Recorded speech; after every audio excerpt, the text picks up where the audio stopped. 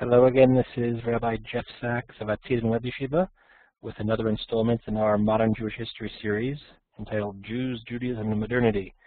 Uh, at this leg of the journey, we have turned our attention to the east, as they say, and we're talking about the history of the Jews in Eastern Europe. Um, in the chat panel, I'm putting a link uh, to a site that has some of the archived MP3s of um, uh, just the MP3s without the benefit of the full interactive and the board and etc., but just the uh, audio recordings of some of the previous uh, uh, sessions in this course where we were talking about Western Europe. And I'm going to make reference to some of them tonight. So you're welcome to go back and, and fill in if you weren't part of the part of our group uh, in past semesters.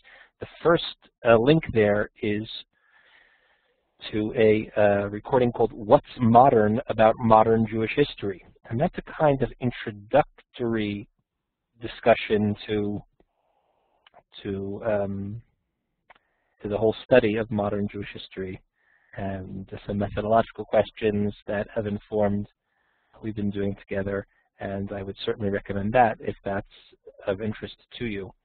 Um, we're going to do something, uh, I'd like to do something with you tonight. Um, um,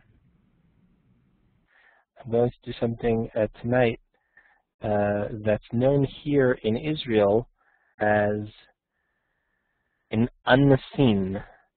You see this uh, word here, uh, unseen um, which is a funny word because it's a Hebrew word which is um, you know, just borrowed from an English term that we don't actually use in English, at least to the best of my knowledge.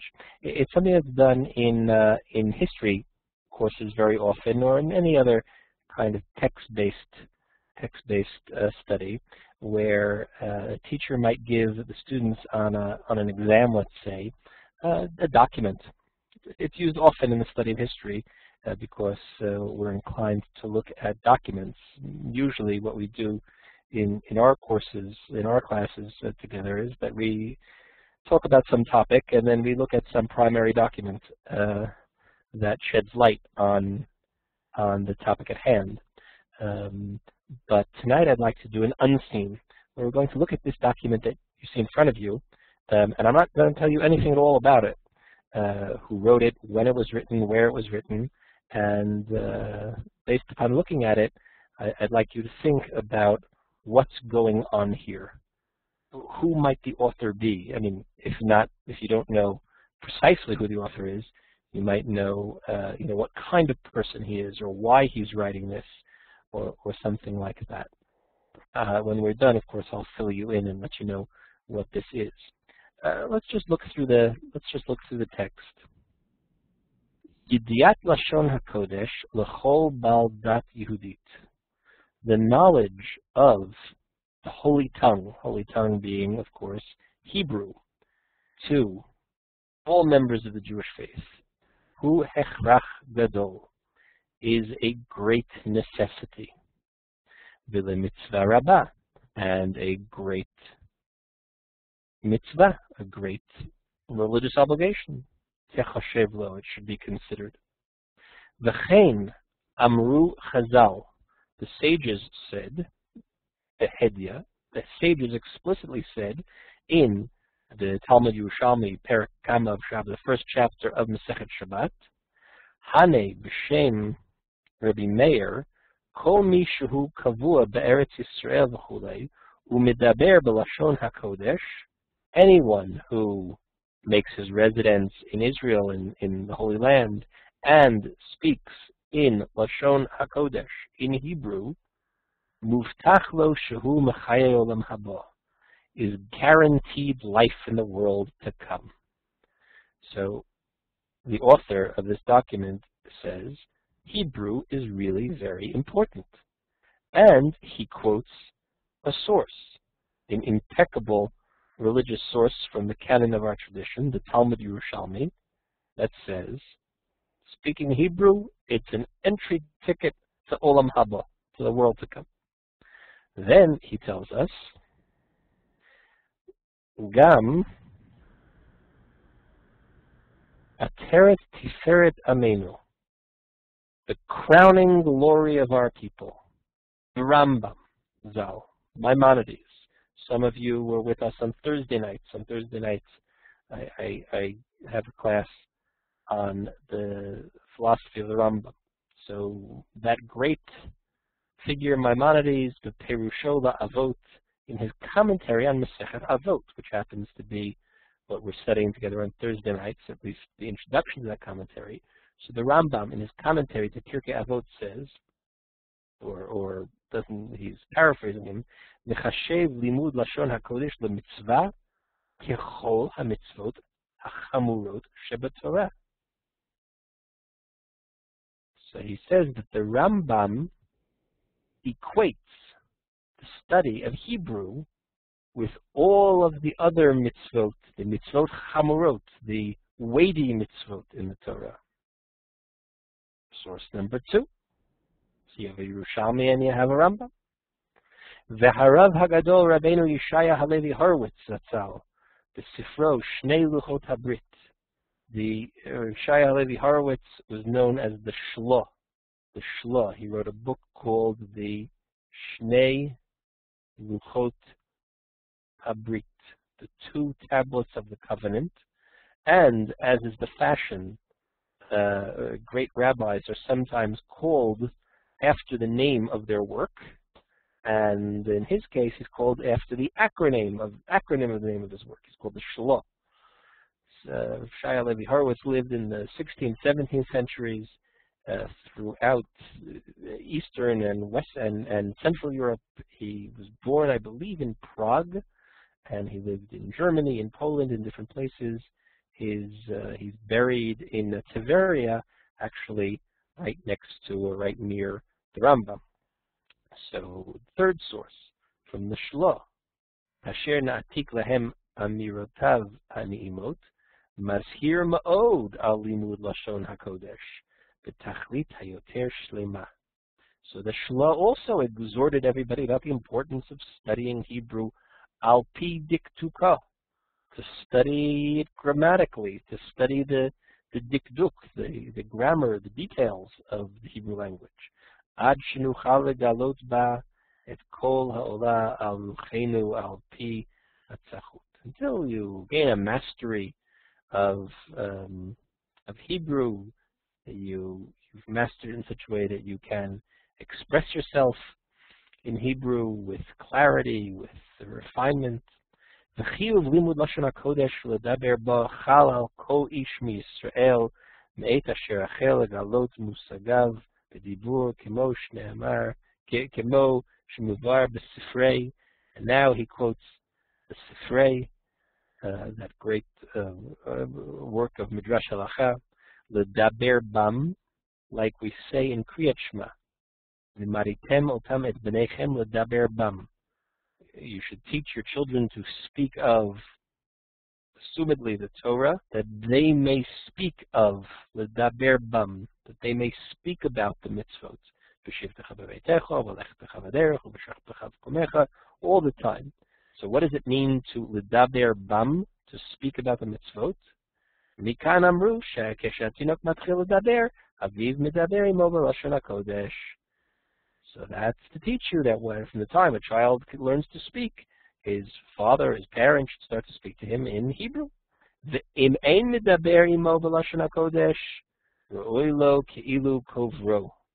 And if, God forbid, the father doesn't speak to the child in lashon hakodesh, it's as if it, it, it, it tantamount to, to, to to killing the child. It's as if you're burying him.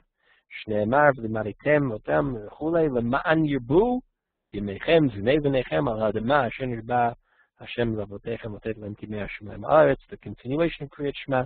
It's written, of course, this is all written in, in rabbinic in rabbinic uh, convention of just making making hints at sources that the author assumes are so familiar that he can just quote a, a half a line and throw in an etc. etc. and the audience will know, the audience will know to what he's referring, to string together these the sources. Uh, again, by quoting, he's quoting the Sifrei that does this, but he's the author that's stringing these sources together is making an assumption about who his audience is, that he doesn't have to spell everything out. And from the fact that uh, uh, from the fact that uh, Uh, we've told you about the importance of Hebrew, so we can also understand the severity of neglecting Hebrew. So this passage is really, I mean, there's, there's hardly anything original here. I mean, you see, it's the first chapter of a work that I'm about to tell you what it is. But it's really just a stringing together like a, a string of pearls of three or four sources. Uh, first, he starts off with this general notion that the study of Hebrew is is is very important. Then he quotes the Yerushalmi. Then he quotes the Rambam. And then he quotes the Shloh, who also fills in the quote from the Sifrei. There's in this whole passage, in this whole passage, there's hardly anything. 98% of the whole chapter are direct quotes from primary sources or paraphrases of primary sources because the quote from the Rambam is not 100% precise. Does anyone know? The, the, Rambam is not a quote, it's a paraphrase of what the Rambam is saying. Does anybody know the context of the Rambam's admonition to study Hebrew, which is brought in his commentary on Pirkei Avot?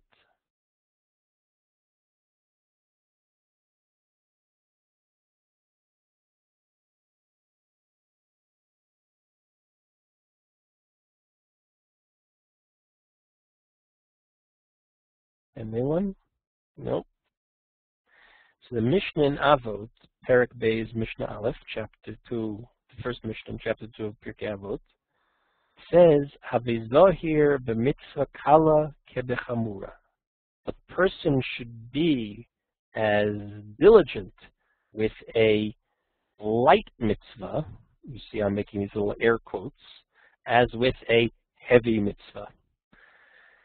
Why? Because we don't know what the ultimate reward of anything is, and therefore, since we don't know matan scharan shel mitzvot, we don't know how God keeps his books, as it were, we have to be careful there. Now, obviously, we know that there are certain mitzvot which are which are uh, severe and others which are less severe. We might intuit this from we might intuit this from uh, the punishments that are associated with different mitzvot. There are certain mitzvot that are very severe that they carry the death penalty.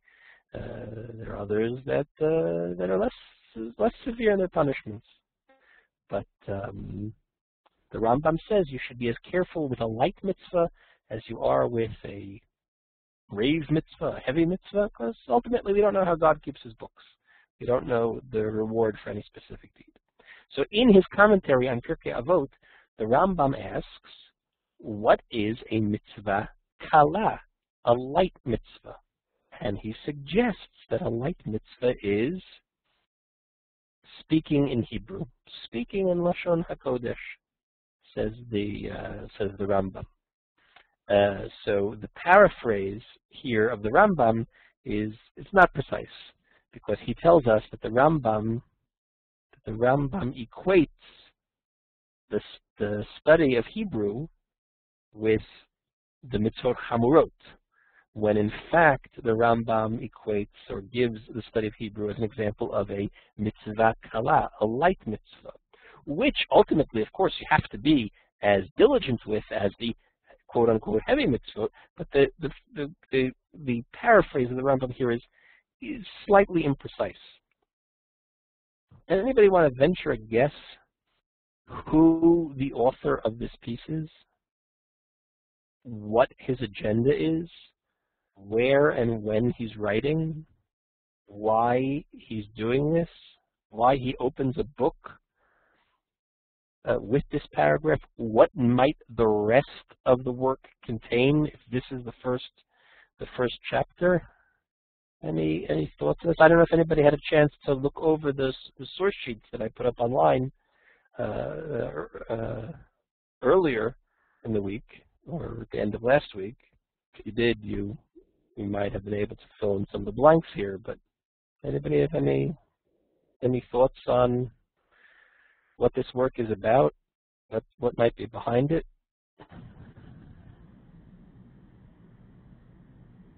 This is an interactive course. That's why we have these webcams. That's why we're wearing these funny microphones.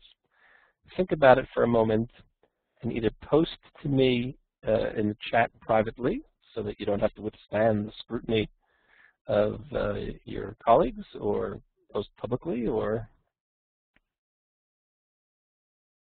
okay. Obviously, Brian mentions chinuch. Obviously, there's an educational program here of some sort. If anybody would like to speak, I can turn on your microphones. Advent of Zionism. That's an interesting idea.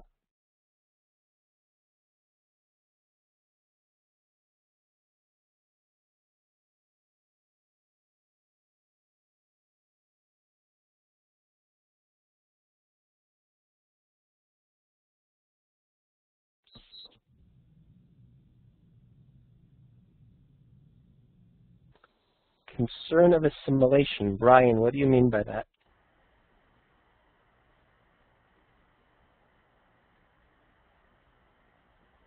Brian, do you have a microphone? No?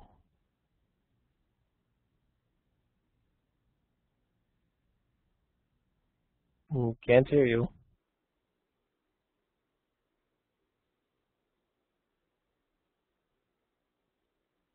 Ezra? Yes. Ezra, I'm, I, I'd like Brian to say something, but he seems to be having trouble with his microphone. His lips are moving, but we do not hear him. So Brian, I'm going to ask you to help him out there. Okay, Brian, can you hit the...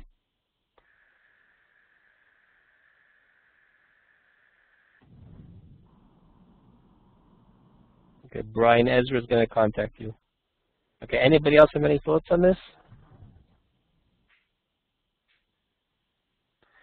You may or may not be surprised to discover, ah, uh, Natalia mentions the idea that Hebrew is more important than Yiddish, or Hebrew ought to be more important than Yiddish, and that clearly is something that that's going on here. Um, th this piece that we just read is the first chapter, the opening, the opening uh, section in a work called the Tu'udah Yisrael, which was written by Yitzchak Ber Levinson, or Isaac Ber Levinson, sometimes also called Isaac Dov Levinson. You know, bear, bear is like bear, like uh, teddy bear, is Yiddish for the name, the Hebrew name Dov, both of which mean mean, mean bear. Uh, he's sometimes known by the acronym RIBAL, uh, Reb Yitzchak Ber Levinson. And uh, correct, uh, correct, Robert. Um, Levinson was the early leading figure of the Haskalah, of the Jewish Enlightenment in the East. Previously, we discussed at some length the Haskalah, the Jewish Enlightenment in Western Europe, primarily in Germany. We talked about Moses Mendelssohn, and we talked about Naftali Herz Wiesel, and we talked about all types of other things. Um, and uh, you can go back to those to those archives. That was in Western Europe. In Eastern Europe, it takes place much later. Um, the the Haskalah, the Jewish Enlightenment, uh, I may I tried at some uh, with some pains to to make the point uh, in the past that the Haskalah and the reform movement in Germany were not the same thing. They were independent movements, but related movements. The reform movement could not have come about without the Haskalah paving certain groundwork. but they were different identities. They were different, they, they, they had different agenda. In the East, the Haskalah comes about much, much later. Just like the European Enlightenment, which the Haskalah was very much influenced by, obviously. Um, if you don't know what I mean by this term Haskalah, uh, or if you don't know what I mean by the term the Enlightenment or the European Enlightenment, you know, uh, a few minutes of Googling around or Wikipediaing around will do a lot to fill in any uh, gaps in your knowledge. Um, the Haskalah uh, was, just like the European Enlightenment, was uh, much later to make inroads in the East, Poland, Russia, etc., than it was in the West, France, Germany, etc. Uh, but both in the East and the West, the Haskalah, the Jewish Enlightenment, have uh, are, are taken note of by the secular governments who are interested in changing the status of the Jew in their in their kingdoms in their countries. In the East, in Poland, in in uh, in Russia, again we spoke last week about how Poland, much of it uh, got gobbled up by Russia during the partitions of Poland in the 1790s. In the East, the Jews were I'm speaking in gross oversimplifications, the Jews were surrounded by peasants, by drunks. Again, the peasants were drunks because they were usually paid in liquor. So, you know, perhaps through no fault of their own.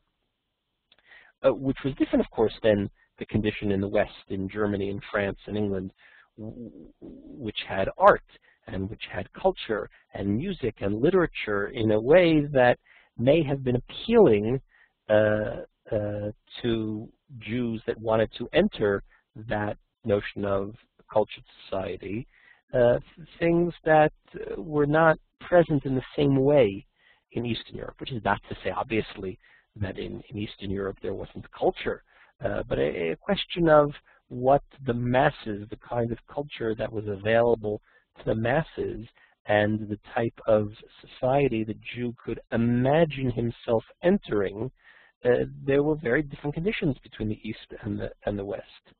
But that's not to say that there was, pardon the expression, an iron curtain between them. Uh, there were points of interchange, particularly particularly Galicia, uh, where my uh, my Elta Elta and Elta Buddies come from. Uh, Galicia, you know, was this area between Central and Eastern Europe uh, the western part of, of uh, what today is the Ukraine, um, uh, which had been annexed by the by the Austro-Hungarian Empire, was something of a channel between between East and West. It's an it's an important transit point uh, for ideas to get from, let's say, from Vienna, uh, the you know the the capital of Western culture and ideas and liberalism and and uh, and, uh, and, and enlightenment and culture and higher education uh, into Galicia and from there into into the Pale of Settlement. And ideas are transmitted, but they they take time. Eh, they take on different forms as they make the transition, and they develop differently. The first maskil in Eastern Jewish society is the Ribal, is Yitzchak Ber Levinson. Again, he lived 1788 to 1860.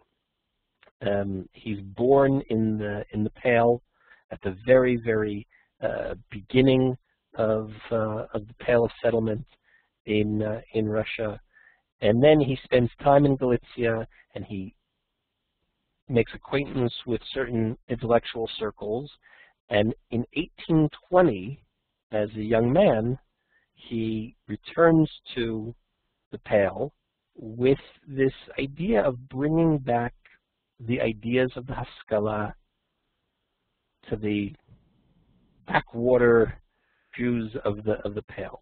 in 18 uh, in the 1820s, um,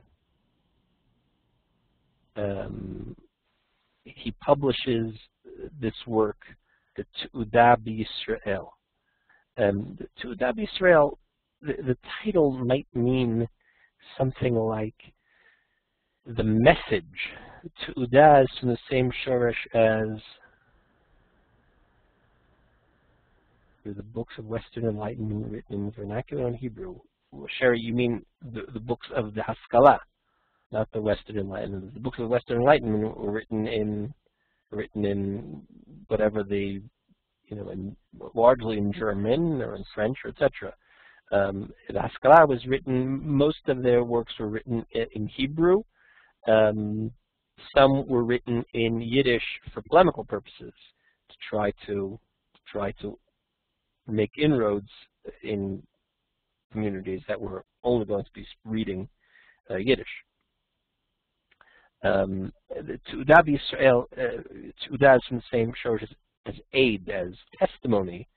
Um, I, I, I, once heard, I'm not sure this is true, someone with a philological bent can try to look it up. You know, Tu'udah in contemporary Hebrew means, uh, you know, like a report card or a diploma, a diploma. Uh, so it's an argument, uh, among other things, although we didn't see it in the one paragraph we looked at, it's an argument for advancing secular education. So I, once heard somebody say that you know the the play in the in the um, the title was uh, you know Tu'udah Israel meant uh, uh, you know a diploma in Israel, but I'm not sure that that's how the term was used in the 1820s when the uh, when the book uh, was published in, in 18 in 1828. He had trouble getting it published because he um, because it was opposed by the Orthodox establishment or by the religious establishment uh, in Eastern European in Eastern Europe. Uh, we can still only talk about the the religious establishment is synonymous with saying the Orthodox establishment at this at this point. Um, he begins with this emphasis on learning Hebrew. And again, who's he quoting? The Rambam, the Shloah, Chazal, etc. Um, and he makes this proposal of returning to Hebrew as a pedagogical tool, which would, of course, been a radical change in the way uh, schooling and and study had been conventionally done, which was, of course, in, in Yiddish. It was radical because the idea that we're going to dedicate time to studying dikduk, to studying grammar, uh, was it was uh, viewed at best at best as a man, as a waste of time because it takes away time from traditional Talmud Torah, from traditional study of primarily Gemara and secondarily uh, Chumash, which were the meat and potatoes of conventional Cheder education in, in Eastern Europe. Um, but what's significant about how the work is put out is the, is the extreme subtlety. The Haskalah in the East, which is addressing a far more traditional populace, is extremely subtle. It, it, it's it's a it's the haskalah on a low flame. Um, the uh, you know, and, and because of that, it's view, he's viewed as a wolf in sheep's clothing. He's a maskil, who is maskil being a proponent of the haskalah.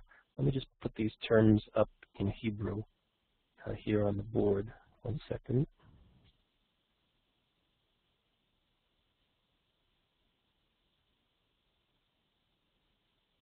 That's not good because it's in yellow.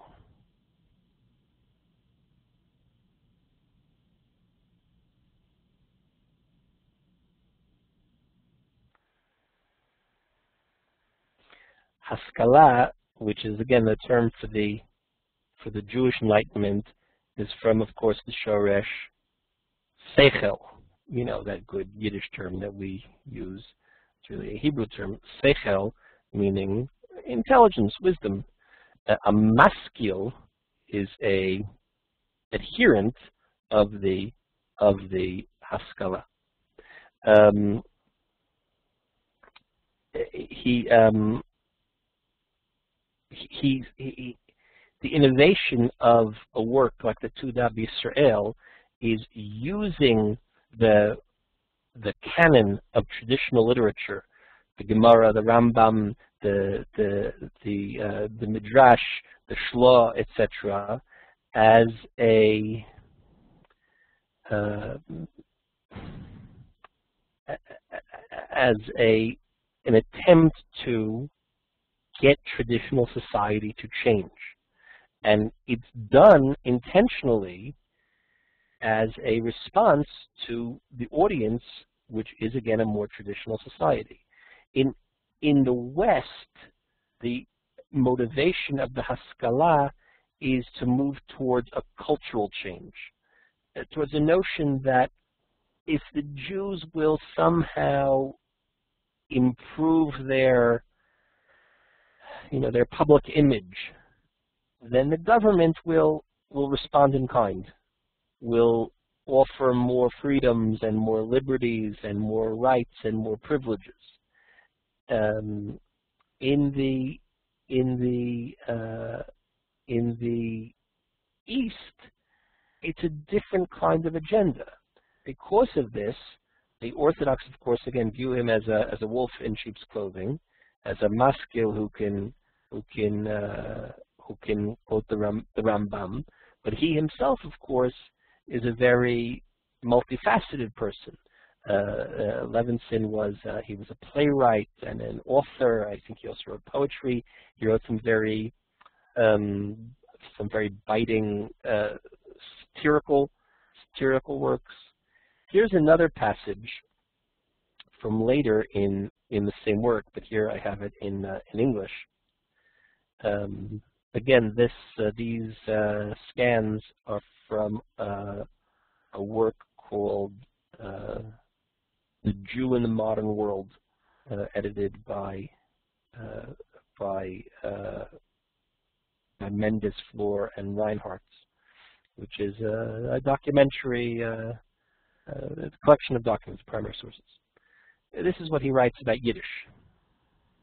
Yiddish, of course, being the primary language for all purposes in, in Eastern Europe. This language, which we speak here in this country, which we borrowed from the Germans and which is called Judeo-German, this language is completely corrupted. Yiddish is completely corrupted. This corruption is a consequence of the eclectic nature of the language.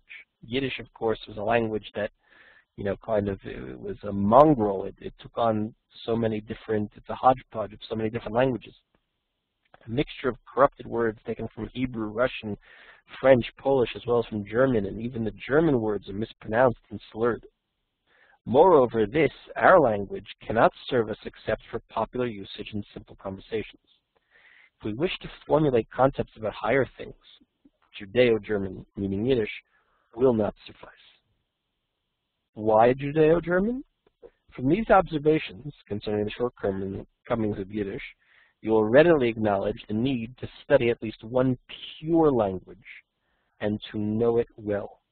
Now again, this notion of a pure language, a language like Russian or German, which of course is, is not pure in the sense that there's no language which isn't influenced by surrounding languages, but a notion of a language which supports a culture, a Western culture, a quote-unquote modern culture, which becomes the repository of which becomes the repository of a literature and uh, a mode of commerce. Uh, that's what it means by a pure language the, the need to study one pure language and know it well. And there is no need to add that the language of the country we live in is doubtlessly the one we're obligated to learn correctly.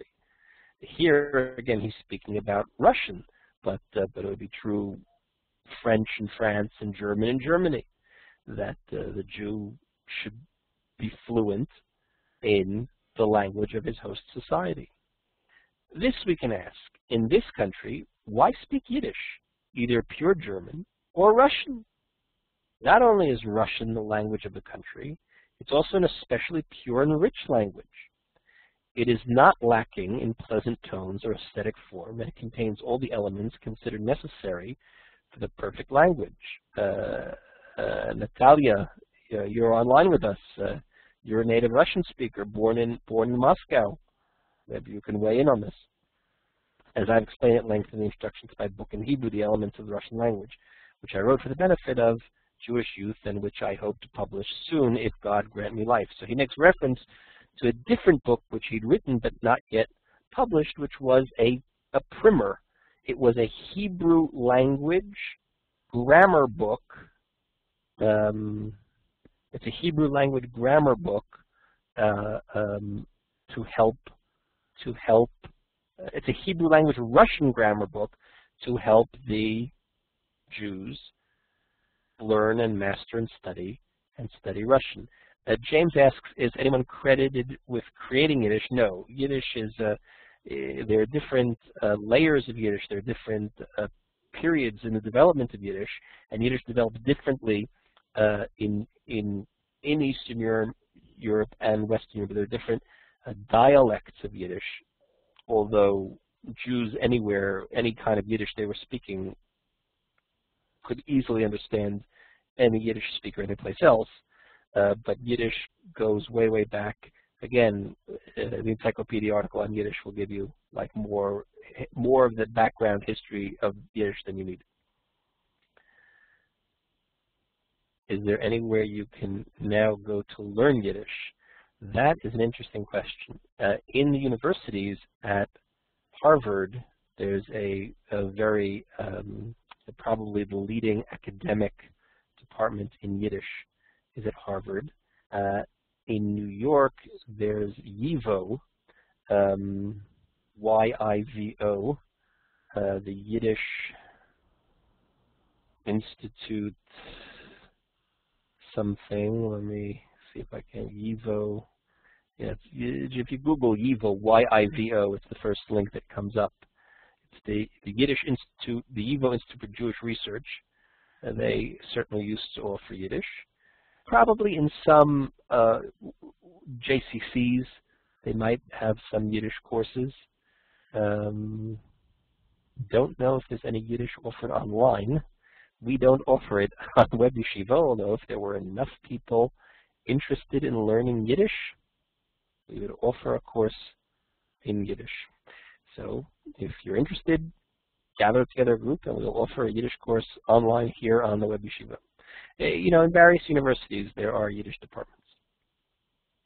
Um, we may conclude from our discussion so far that it is a great obligation and necessity to know one of the foreign languages well, especially the language of the country where we live, and that we should know it perfectly so that we can articulate our thoughts in a correct manner. Now, to us, this may not seem at all surprising it may not seem in any way in any way radical, um, uh, but in the 1820s, in the Pale of Settlement, it was extremely alarming.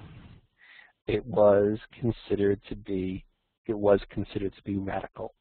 Um, everything that he says in the Te'udah Israel had already been laid out and then some in its parallel work in the West.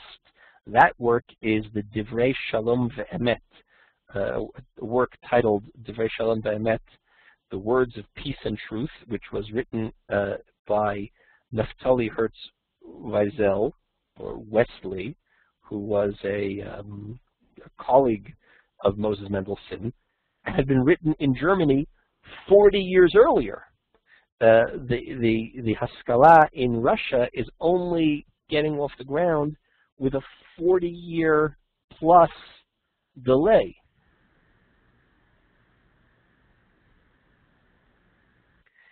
Um, and and everything that he says here had already been said in that work, the Divrei Shalom Ve'emet. I saw, I just noticed in the archives that we that there's a recording of that whole uh, that whole session where we talked about the Divrei Shalom Ve'emet, and you might want to revisit that.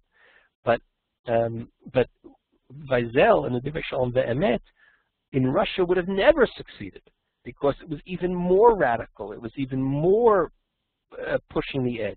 You may recall that Weisel talked about the difference between Torah Hashem and Torah Ha'adam, the Torah of God and the Torah of man, meaning there's you study the Gemara and the Chumash, and then the Torah Adam is secular studies, and that distinction would have seemed even more radical in the in the in the East. Um, Levinson claims that his plan isn't a threat to the rabbinic tradition, but is actually he makes this claim it's a return to it's a return to tradition itself, and, and that's why he starts off with bolstering his, his argument with these quotes from uh, traditional sources. Um, and, and, in a sense, it might have been. Uh, the idea that we're going to study Hebrew is, after all, not exactly like suggesting we should all be eating bacon. Um, it's not suggesting that we should be reforming the prayer service or the synagogue or uh, the Sachakoli, suggesting that we study uh, Hebrew dikduk, which is today not uh, not at all uh, surprising. Um, no, so the denigration of Yiddish was for two reasons. One was Yiddish is Yiddish is such a is viewed as such a pidgin, jargonistic, um, uh, um, particularistic language of the Jews, where if you're only fluent in Yiddish, it means you're cutting yourself off from general society. And part of the agenda of the Haskalah is to open Jews to general society. So the argument that we should we should study another language like German or Russian means that we can then open the conduits to the influences of general society and culture. The idea that we should study Hebrew, that the that our internal language should be Hebrew, uh, uh, uh, which is considered a more uh, classical language, which is considered a more refined and cultured language, you know, is part of this attempt to refine the image of the backward shtetl Jew to something more refined, cultured, etc.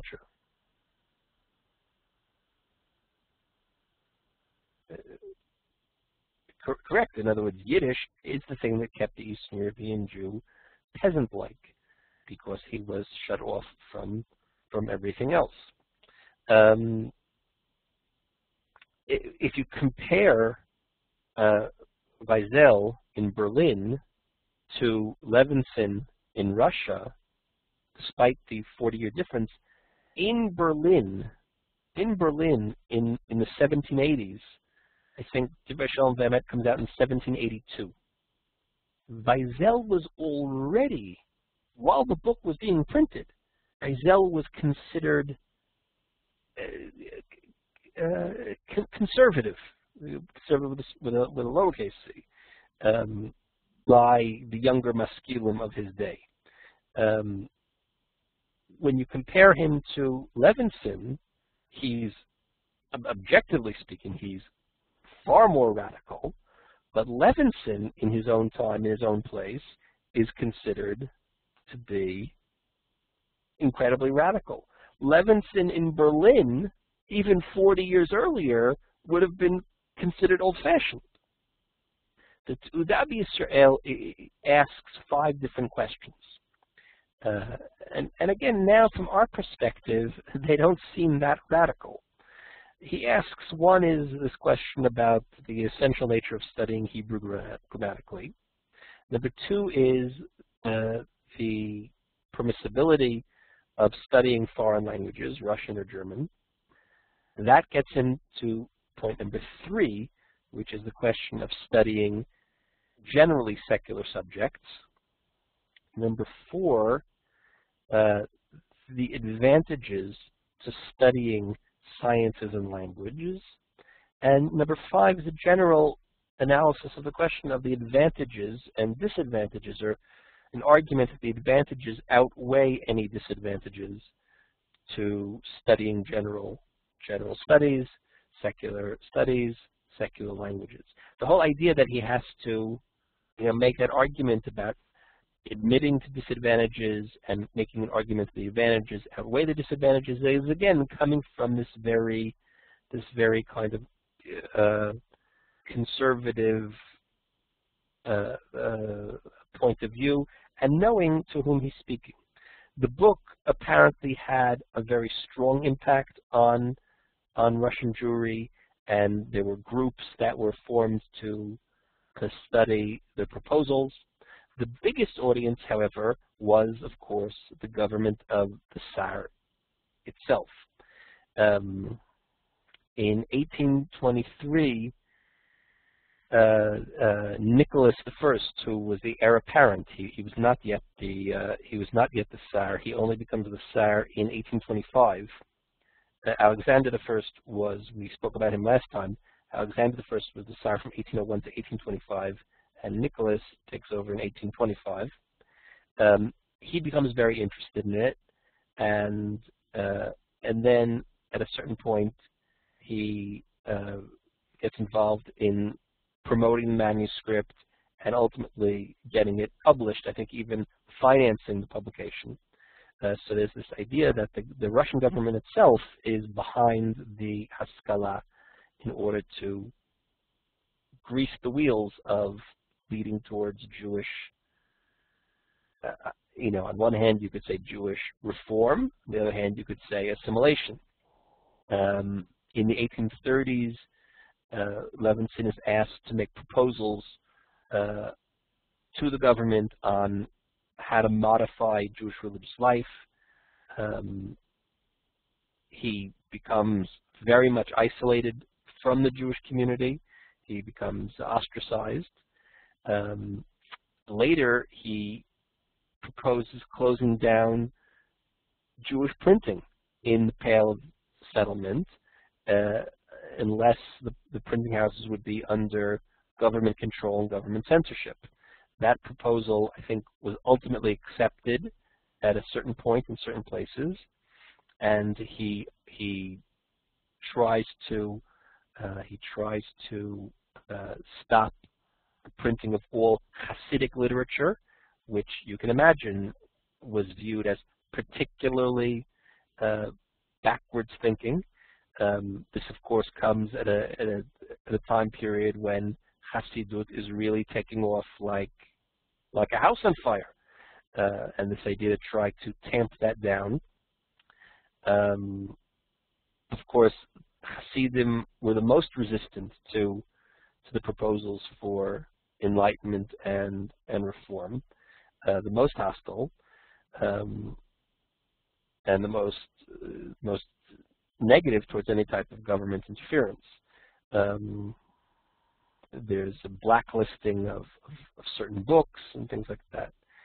At the end of the 1830s, in 1838, he makes a full-fledged plan for reform that's a different work called the Beit Yehuda, um, which proposes uh, secular Jewish schools, uh, types of secular theological seminaries um, with government uh, control. He makes a plan that a third of Russian Jewry should enter agriculture. This goes back to what we spoke about last time about a, a, a um, desire to move Jews into what were considered productive lines of work, producing food being a very severe necessity uh, always in, in Russian history. Um, the, the Jews are, of course, reluctant to leave the Pale of Settlement. Uh, there was this idea, of course, that Jews would be open to being moved out of the Pale of Settlement if they were engaging in productive uh, trades or if they were engaged in agriculture and farming. Jews were, of course, very reluctant to leave the, the Settlement, and um, and that's the you know the career of uh, of the Ribal Yitzchak Ber of Yitzchak Ber Levinson, um, were the Jews Russian citizens? Well, I mean, yes and no. The uh, they were citizens in the sense that they belonged to the they belonged to the government of Russia, but uh, Russia didn't. I mean, even the the serfs. Uh, Russia was a feudalistic society until the 1860s. I think the I think the serfs are not completely emancipated in Russia until 1868. Um, uh, so what does it mean to be a citizen? I mean, they couldn't vote, but nobody could vote. they didn't have, you know, they, they didn't elect the Tsar. Um, they had certain protections. Uh, if they were allowed to live there, they were they were entitled to certain protections. But the whole idea of asking were they citizens is uh, is an anachronistic kind of question. This isn't uh, this isn't France or England. Um, the it's a little um, you know we always have to be careful when we do this uh, to, to, turn to a work of the imagination, whether it's literature or art. It's certainly film, but you know the the the, the quickest uh, touchstone for us, or or, or most uh, I guess common frame of reference. You know, think of Anatevka. Think of Fiddler on the Roof. I mean, if you can think of Fiddler on the Roof, if you can think of, if you can actually think of the Shalom Aleichem stories of Tevye, that's better than if you can just think of the movie or the play. But uh, but even if all you can do is conjure up the movie or the play, which are set later than this, it takes place quite a few decades, quite a few decades later. But uh, but that idea of the the Jewish attachment to tradition, uh, that that's the pole star around which a figure like Tevye organizes his life, the tumult that his life is thrown into when things come along from within and from without that shake up that sense of tradition of the way things are, the way things have always been, um, and then ultimately having to be banished from his home from the from the Pale of Settlement uh, and not really wanting to go, um, even though things weren't really so great there. But this notion of the the gravity uh, and weight and pull of of tradition. This is again, it's a it's a kind of cheap shorthand by which we can we can uh, conjure up an association. This is the society that you know before before those uh, rebellious sons-in-law come along and try to change things. Uh, the opening scene of Fiddler on the Roof you can understand why even a modest proposal like the Te'udah Israel, which is far less radical than the proposals made in in uh, in Western Europe, and which to our eyes today don't seem so radical. We can understand why they were viewed with such severe, uh, such severe um, um, suspicion. Uh, that is the rough outline of how the Haskalah comes to the East. Of course, it plays itself out over the decades in interesting ways, which we will have to see in uh, subsequent uh, subsequent discussions.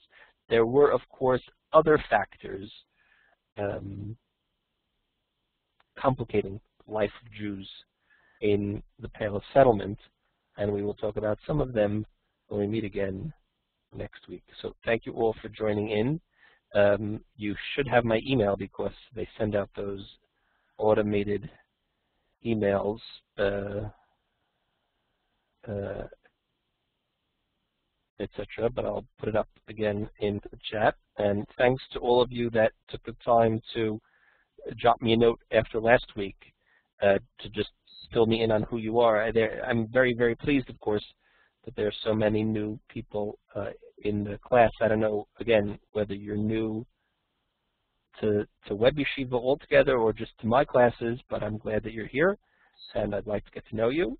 If you're in the Yerushalayim area, I'd like to get to know you in person. I'd be glad to meet you for a cup of coffee or something. And um, And if not, so then to just uh, be in touch by, by email. Yes, Brian, I will pass you the mic.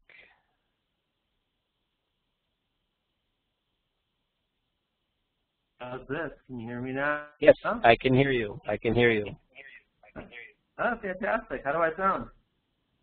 You sound fine. okay. Now, where are you? I'm sorry, guys. So I'm where are you? Oh, I'm in uh, Champaign, Illinois. I, I work at the University of Illinois here. Oh, what do you do? Uh, I, I do com I do computer and networking stuff. Uh-huh.